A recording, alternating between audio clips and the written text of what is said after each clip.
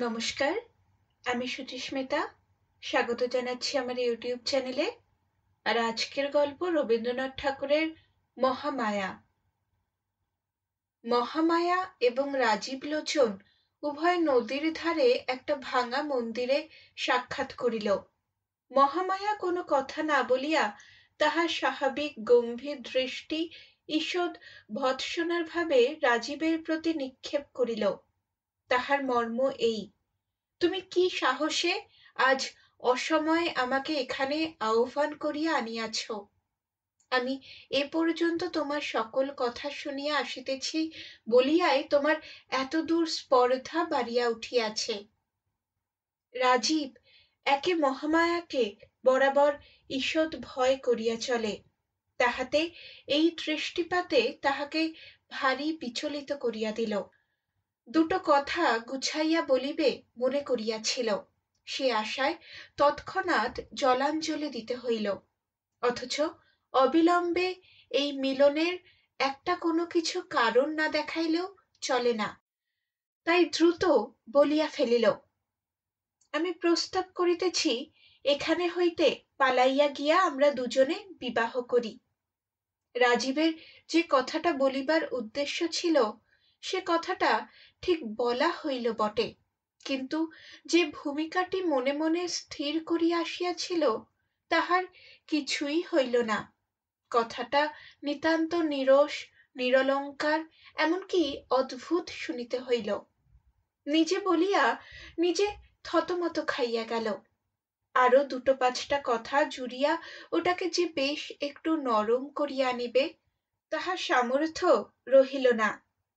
ভাঙা মন্দিরে, নদীর ধারে, এই মধ্যাহ্নকালে মহামায়াকে ডাকিয়া আনিয়া নির্বোধ লোকটা শুদ্ধ কেবল বলিল, চলো, আমরা বিবাহ করি কে? মহামায়া কুলিনের ঘরের কুমারী। বয়স চব্বিশ বছর, যেমন পরিপূর্ণ বয়স, তেমনি পরিপূর্ণ সৌন্দর্য, যেন শরৎকালে রৌদ্রের মতো কাঁচা সোনার প্রতিমা।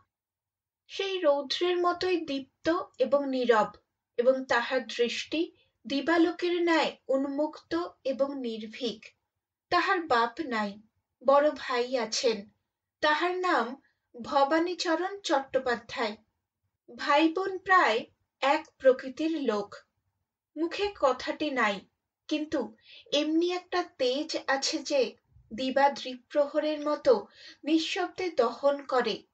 লোকে ভবানীচরণকে অকারণে ভয় করিত। রাজীব লোকটি বিদেশি।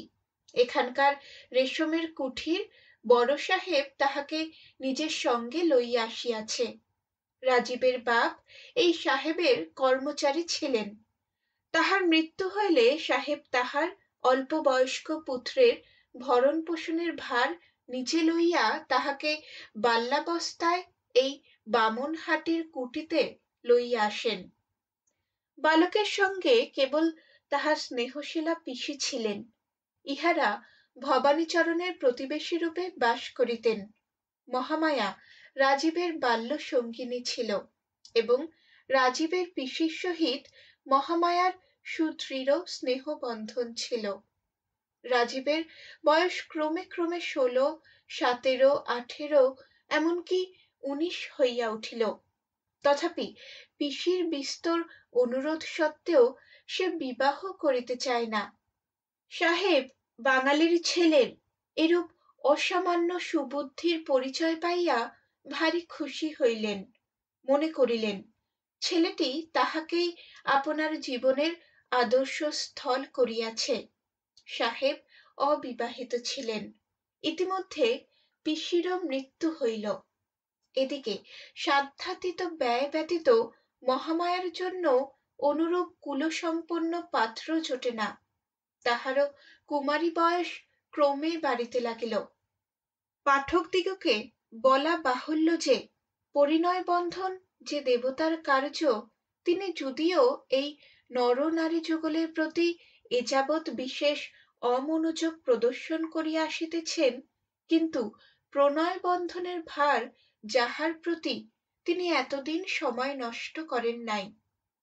বৃদ্ধ প্রজাপতি যখন ঢুলিতেছিলেন, যুবক কন্দর্প তখন সম্পূর্ণ সজাগ অবস্থায় ছিলেন। ভগবান কন্দর্পের প্রভাব ভিন্ন লোকের উপর ভিন্নভাবে প্রকাশিত হয়। রাজীব তাহার প্ররোচনায় দুটো চারটে মনের কথা বলিবার অবসর খুঁজিয়া বেড়ায়। মহামায়া তাহাকে সে অবসর দেয় না। তাহার নিস্তব্ধ গম্ভীর দৃষ্টি রাজীবের ব্যাকুল হৃদয় একটা ভীতির সঞ্চার করিয়া তোলে। আজ শতবার মাথার দিব্য দিয়া রাজীব মহামায়াকে এই ভাঙা মন্দিরে আনিতে কৃতকার্য হইয়াছে। তাই মনে করিয়াছিল, যত কিছু বলিবার আছে, আজ সব বলিয়া লইবে। তাহার পরে হয় আমরণ সুখ, না হয় আজীবন মৃত্যু। জীবনের এমন একটা সংকটের দিনে রাজীব কেবল কহিল, চলো, তবে বিবাহ করা যাক। এবং তারপরে বিস্তৃত পাঠ ছাত্রের মতো থতমত খাইয়া চুপ করিয়া রহিল। রাজীব যে এরূপ প্রস্তাব করিবে, মহামায়া যেন আশা করে নাই। অনেকক্ষণ তাই নীরব হইয়া রহিল। মধ্যাহ্নকালের অনেকগুলি অনির্দিষ্ট করুণ ধ্বনি আছে। সেইগুলি এই নিস্তব্ধতায় ফুটিয়া উঠিতে লাগিল। বাতাসে মন্দিরের অর্ধ সংলগ্ন ভাঙা কবাট এক একবার অত্যন্ত মৃদুমন্দ আত্মস্বর সহকারে ধীরে ধীরে খুলিতে এবং বন্ধ হইতে লাগিল। মন্দিরের গবাক্ষে বসিয়া পায়রা বকম বকম করিয়া ডাকে। বাহিরে শিমুল গাছের শাখায় বসিয়া কাঠঠোকরা একঘেয়ে ঠক ঠক শব্দ করে। শুষ্ক পত্ররাশির মধ্য দিয়া গিরগিটি সরসর শব্দে ছুটিয়া যায়। হঠাৎ একটা উষ্ণ বাতাস মাঠের দিক হইতে আসিয়া সমস্ত গাছের পাতার মধ্যে ঝরঝর করিয়া উঠে এবং হঠাৎ নদীর জল জাগিয়া উঠিয়া ভাঙা ঘাটের সোপানের উপর ছলাৎ ছলাৎ করিয়া আঘাত করিতে থাকে। এই সমস্ত আকস্মিক অলস শব্দের মধ্যে বহুদূর তরুতল হইতে একটি রাখালের বাঁশিতে মেঠো সুর বাজিতেছে। রাজীব মহামায়ার মুখের দিকে চাহিতে সাহসী না হইয়া মন্দিরের ভিত্তির উপর ঠেস দিয়া দাঁড়াইয়া এক প্রকার শ্রান্ত স্বপ্নাবিষ্টের মতো নদীর দিকে চাহিয়া আছে। কিছুক্ষণ পরে মুখ ফিরাইয়া লইয়া রাজীব আর একবার ভিক্ষুক ভাবে মহামায়ার মুখের দিকে চাহিল। মহামায়া মাথা নাড়িয়া কহিল, না, সে হইতে পারে না। মহামায়ার মাথা যেমনি নড়িল, রাজীবের আশাও অমনি ভূমিষ্যাত হইয়া গেল। কারণ রাজীব সম্পূর্ণ জানিত, মহামায়ার মাথা মহামায়ার নিজের নিয়মানুসারেই নড়ে, আর কাহারও সাধ্য নাই তাহাকে আপন মতে বিচলিত করে। প্রবল কুলাভিমান মহামায়ার বংশে কত কাল হইতে প্রবাহিত হইতেছে, সে কি কখনো রাজীবের মতো অকুলীন ব্রাহ্মণকে বিবাহ করিতে সম্মত হইতে পারে? ভালোবাসা এক এবং বিবাহ করা আর এক, যাহা হোক মহামায়া বুঝিতে পারিল, তাহার নিজের বিবেচনাহীন ব্যবহারেই রাজীবের এত দূর স্পর্ধা বাড়িয়াছে। তৎক্ষণাৎ সে মন্দির ছাড়িয়া চলিয়া যাইতে উদ্যত হইল। রাজীব অবস্থা বুঝিয়া তাড়াতাড়ি কহিল, আমি কালই এ দেশ হইতে চলিয়া যাইতেছি।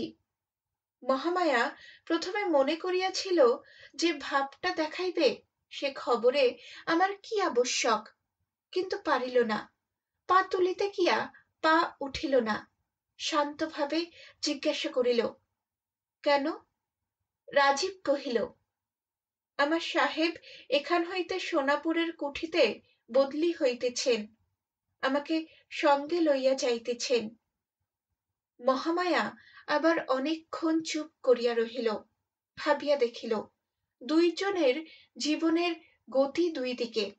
একটা মানুষকে চিরদিন নজরবন্দি করিয়া রাখা যায় না। তাই চাপা ঠোঁট ঈষৎ খুলিয়া কহিল আচ্ছা সেটা কতকটা গভীর দীর্ঘ নিঃশ্বাসের মতো শুনাইল। কেবল এই কথাটুকু বলিয়া মহামায়া পুনশ্চ গমনে উদ্যত হইতেছে। এমন সময় রাজীব চমকিয়া উঠিয়া কহিল চাটুজ্জে মহাশয়। মহামায়া দেখিল, ভবানীচরণ মন্দিরের অভিমুখে আসিতেছে, বুঝিল তাহাদের সন্ধান পাইয়াছে। রাজীব মহামায়ার বিপদের সম্ভাবনা দেখিয়া মন্দিরের ভগ্নভিত্তি দিয়া লাফাইয়া বাহির হইবার চেষ্টা করিল। মহামায়া সবলে তাহার হাত ধরিয়া আটক করিয়া রাখিল। ভবানীচরণ মন্দিরে প্রবেশ করিল। কেবল একবার নীরবে নিস্তব্ধভাবে উভয়ের প্রতি দৃষ্টিপাত করিলেন। মহামায়া রাজীবের দিকে চাহিয়া অবিচলিতভাবে কহিল, রাজীব, তোমার ঘরেই আমি চাইব। তুমি আমার জন্য অপেক্ষা করিও ভবানীচরণ নিঃশব্দে মন্দির হইতে বাহির হইলেন। মহামায়াও নিঃশব্দে তাহার অনুগমন করিল। আর রাজীব হতবুদ্ধি হইয়া দাঁড়াইয়া রহিল, যেন তাহার ফাঁসির হুকুম হইয়াছে। সেই রাত্রেই ভবানীচরণ একখানা লাল চেলি আনিয়া মহামায়াকে বলিলেন, এইটে পড়িয়া আইস। মহামায়া পড়িয়া আসিল। তাহার পর বলিলেন, আমার সঙ্গে চলো। ভবানীচরণের আদেশ এমনকি সংকেত কেহ কখনো অমান্য করে নাই। মহামায়াও না। সেই রাত্রে উভয় নদী তীরে শ্মশান অভিমুখে চলিলেন। শ্মশান বাড়ি হইতে অধিক দূরে নয়। সেখানে গঙ্গা যাত্রীর ঘরে একটি বৃদ্ধ ব্রাহ্মণ মৃত্যুর জন্য প্রতীক্ষা করিতেছিল। তাহারই শয্যা পার্শ্বে উভয় গিয়া দাঁড়াইলেন। ঘরের এক কোণে পুরোহিত ব্রাহ্মণ উপস্থিত ছিল। ভবানীচরণ তাহাকে ইঙ্গিত করিলেন। সে অবিলম্বে শুভ অনুষ্ঠানের আয়োজন করিয়া লইয়া প্রস্তুত হইয়া দাঁড়াইল। মহামায়া বুঝিল, এই মুমূর্ষুর সহিত তাহার বিবাহ, সে আপত্তির লেশমাত্র প্রকাশ করিল না। দুইটি অদূরবর্তী চিতার আলোকে অন্ধকার প্রায় গৃহে মৃত্যু যন্ত্রণার আত্মধ্বনির সহিত অস্পষ্ট মন্ত্রোচ্চারণ মিশ্রিত করিয়া মহামায়ার বিবাহ হইয়া গেল। যেদিন বিবাহ, তাহার পরদিনই মহামায়া বিধবা হইল। এই দুর্ঘটনায় বিধবা অতিমাত্র শোক অনুভব করিল না এবং রাজীব মহামায়ার অকস্মাৎ বিবাহ সংবাদে যেরূপ বজ্রাহত হইয়াছিল, বৈধব্য সংবাদে সেইরূপ হইল না। এমনকি কিঞ্চিত প্রফুল্ল বোধ করিতে লাগিল, কিন্তু সে ভাব অধিকক্ষণ স্থায়ী হইল না। দ্বিতীয় আর একটা বজ্রাঘাতে রাজীবকে একেবারে ভূপতিত করিয়া ফেলিল। সে সংবাদ পাইল, শ্মশানে আজ ভারী ধূম, মহামায়া সহমৃতা হইতেছে।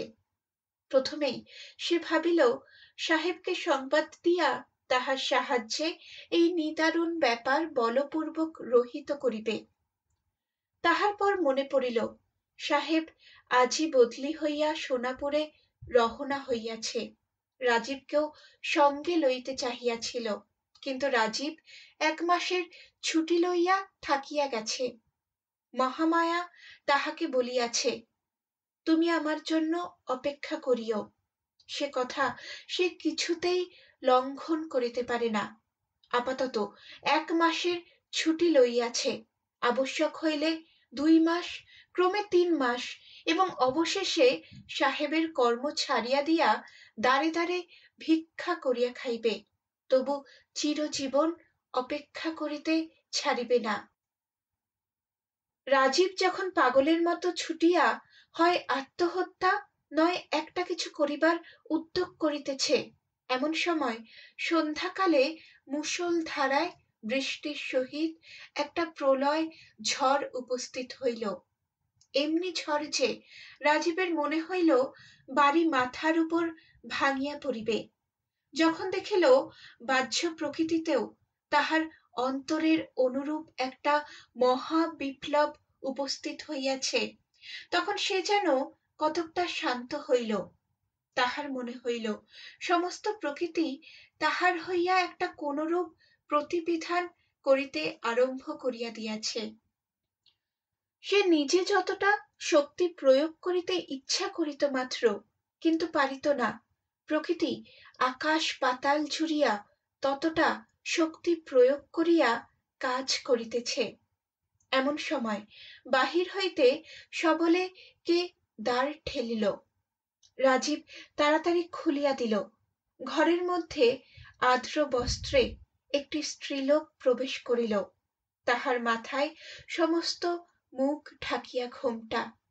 রাজীব তৎক্ষণাৎ চিনিতে পারিল, সে মহামায়া। উচ্ছ্বসিত স্বরে জিজ্ঞাসা করিল, মহামায়া, তুমি চিতা হইতে উঠিয়া আসিয়াছ? মহামায়া কহিল হ্যাঁ। আমি তোমার কাছে অঙ্গীকার করিয়াছিলাম, তোমার ঘরে আসিব। সেই অঙ্গীকার পালন করিতে আসিয়াছি। কিন্তু রাজীব, আমি ঠিক সে আমি নাই। আমার সমস্ত পরিবর্তন হইয়া গিয়াছে। কেবল আমি মনে মনে সেই মহামায়া আছি। এখনও বলো, এখনও আমার চিতায় ফিরিয়া যাইতে পারিব। আর যদি প্রতিজ্ঞা করো কখনো আমার ঘোমটা খুলিবে না, আমার মুখ দেখিবে না, তবে আমি তোমার ঘরে থাকিতে পারি। মৃত্যুর হাত হইতে ফিরিয়া পাওয়াই যথেষ্ট। তখন তার সমস্তই তুচ্ছ জ্ঞান হয়। রাজীব তাড়াতাড়ি কহিল, তুমি যেমন ইচ্ছা, তেমনি করিয়া থাকিও। আমাকে ছাড়িয়া গেলে আমি বাঁচিব না। মহামায়া কহিল, তবে এখনই চলো। তোমার সাহেব যেখানে বদলি হইয়াছে, সেইখানে যাই। ঘরে যাহা কিছু ছিল, সমস্ত ফেলিয়া রাজীব মহামায়াকে লইয়া সেই ঝড়ের মধ্যে বাহির হইল। এমনি ঝড় যে দাঁড়ানো কঠিন, ঝড়ের বেগে কঙ্কর উড়িয়া আসিয়া ছিটাগুলির মতো গায়ে বিধিতে লাগিল। মাথার উপরে গাছ ভাঙিয়া পড়িবার ভয় পথ ছাড়িয়া উভয় খোলা মাঠ দিয়া চলিতে লাগিল। বায়ুর বেগ পশ্চাৎ হইতে আঘাত করিল, যেন ঝড়ে লোকালয় হইতে দুইটা মানুষকে ছিন্ন করিয়া প্রলয়ের দিকে উড়াইয়া লইয়া চলিয়াছে। গল্পটা পাঠকেরা নিতান্ত অমূলক অথবা অলৌকিক মনে করিবেন না। যখন সহমরণ প্রথা প্রচলিত ছিল তখন এমন ঘটনা কদাচিৎ মাঝে মাঝে ঘটিতে শোনা যাইত। মহামায়ার হাত পা বাঁধিয়া তাহাকে চিতায় সমর্পণ করিয়া যথাসময় অগ্নি প্রয়োগ করা হইয়াছিল। অগ্নিও ধু ধু করিয়া ধরিয়া উঠিয়াছে। এমন সময় প্রচণ্ড ঝড় ও মুষলধারে বৃষ্টি আরম্ভ হইল। যাহারা দাহ করিতে আসিয়াছিল তাহারা তাড়াতাড়ি গঙ্গা যাত্রীর ঘরে আশ্রয় লইয়া দ্বার রুদ্ধ করিয়া দিল। বৃষ্টিতে চিতানল নিবিতে বিলম্ব হইল না। ইতিমধ্যে মহামায়ার হাতের বন্ধন ভস্য হইয়া তাহার হাত দুটি মুক্ত হইয়াছে। অসহ্য দাহ যন্ত্রণায় একটিমাত্র কথা না কহিয়া মহামায়া উঠিয়া বসিয়া পায়ের বন্ধন খুলিল। তাহার পরে স্থানে স্থানে দগ্ধ বস্ত্রখণ্ড গাত্রে জড়াইয়া উল্লঙ্গ প্রায় মহামায়া চিতা হইতে উঠিয়া প্রথমে আপনার ঘরে ফিরিয়া আসিল। গৃহে কেহই ছিল না। সকলেই শ্মশানে। প্রদীপ জ্বালিয়া একখানি কাপড় পরিয়া মহামায়া একবার দর্পণে মুখ দেখিল।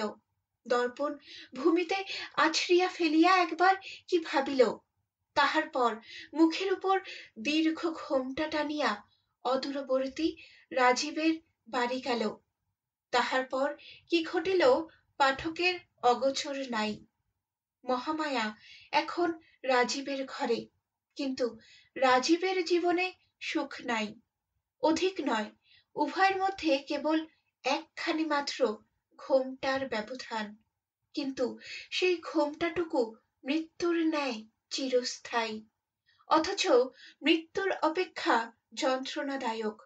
কারণ নৈরাশ্যে মৃত্যুর বিচ্ছেদ বেদনাকে কালক্রমে অসার করিয়া ফেলে।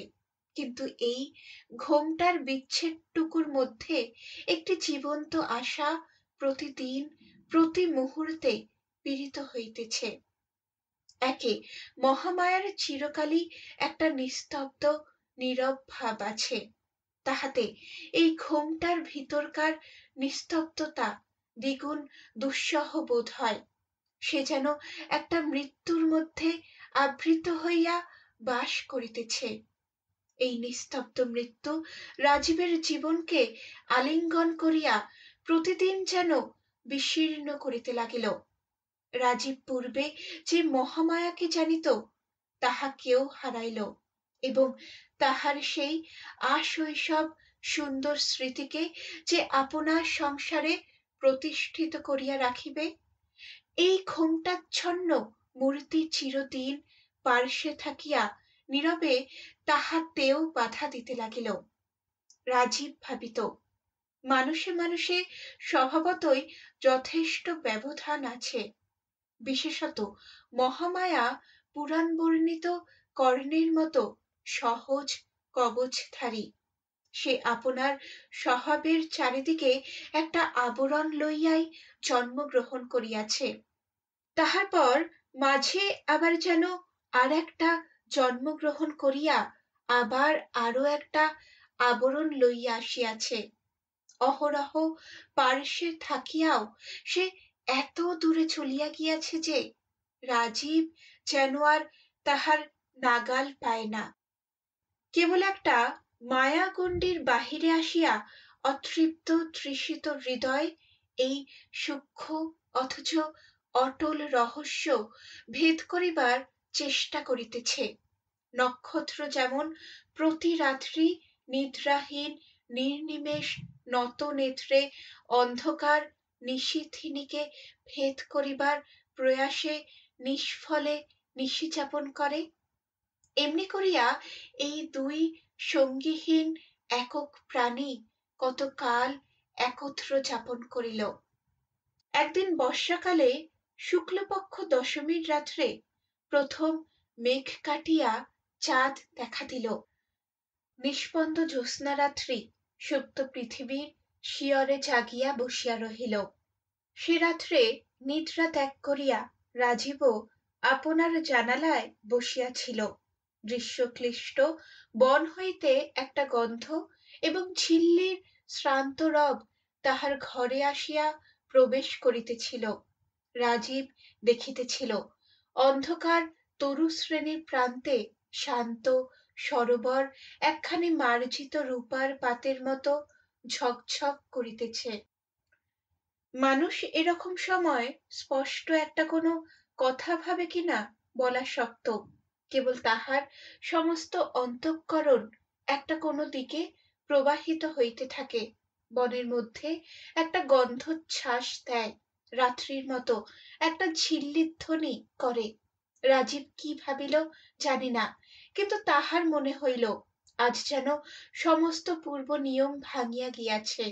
আজ বর্ষা রাত্রি তাহার মেঘাবরণ খুলিয়া ফেলিয়াছে এবং আজিকার এই নিশীথিনীকে সেকালের সেই মহামায়ার মতো নিস্তব্ধ, সুন্দর এবং সুগম্ভীর দেখাইতেছে।